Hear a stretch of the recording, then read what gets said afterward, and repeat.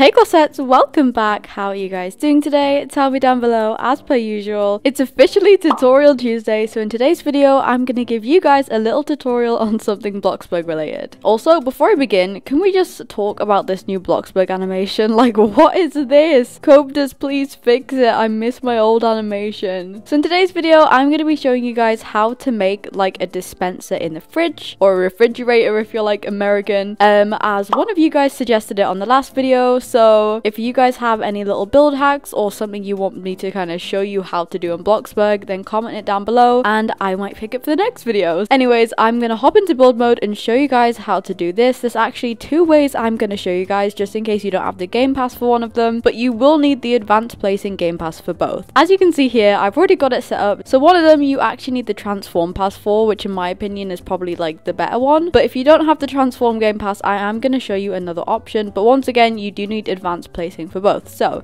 Here's the first option which you don't need the transform pass for. What you need is this fridge here that has the little dispenser gap and then you need one of these glass beverage dispensers and you need a countertop. What we're going to do first is we are going to place the counter against our wall over here and then we are going to go and place the dispenser around here on the countertop. Next what you want to do is grab the fridge and put it against the wall over the top of the counter and as you can see the dispenser now sits inside the fridge like this. Let me just try and click it so I can put stuff in it. Okay, okay, so I'm going to move this a bit forward and put this back so it kind of sticks out a bit more because then I think it'll be easier to kind of use it. But yeah, it's super easy. As you can see, you can now click it and you can fill it with whatever you want. Let's put some lemonade in it. There we go. So there's now lemonade in it and you can just take the lemonade out and you can still use the fridge as well. So you can use both. Yeah, that's how you do it without the Game Pass. But now I'm going to show you guys another way to do this, which in my opinion is kind of like the more neater way to do this. So let's hop back into build mode. And for this version, you need the fridge, a basic shape and the dispenser. So what we're going to do is we are going to put the fridge over here